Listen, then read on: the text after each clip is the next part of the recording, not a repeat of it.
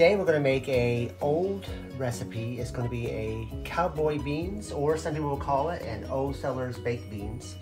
Um, we're gonna get started now. We're gonna start off with one pound of 80-20 ground beef. We've got four slices of bacon here. Just gonna cut these into little pieces.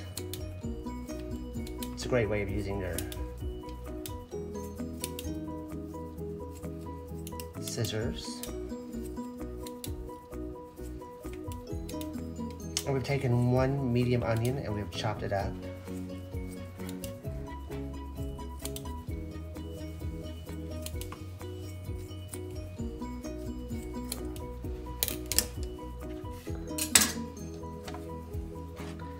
We're going to turn our uh, heat onto medium and we're going to brown this up, making sure to get all the pink out of the hamburger.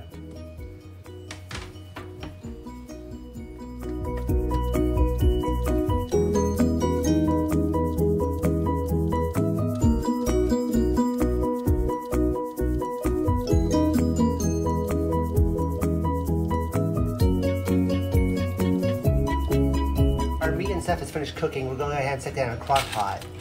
In this crock pot, we put a liner. We want to make sure that the uh, ketchup and stuff doesn't stain the sides of the liner.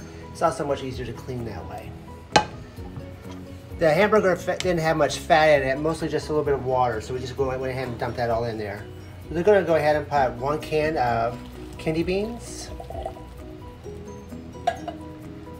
one can of Great Northern beans,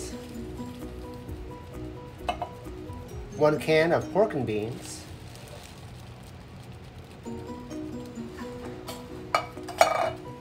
one third cup of sugar, one half cup of brown sugar, one fourth cup of ketchup, one fourth a cup of your favorite barbecue sauce, one tablespoon of mustard,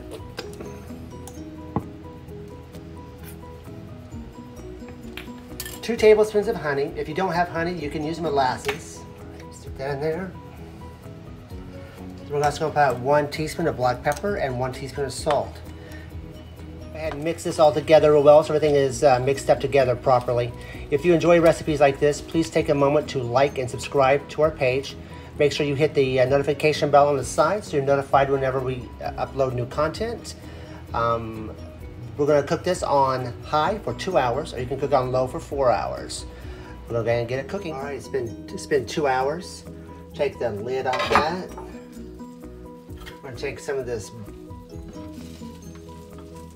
soup, stick it in our pot, stick it in our bowl, I mean.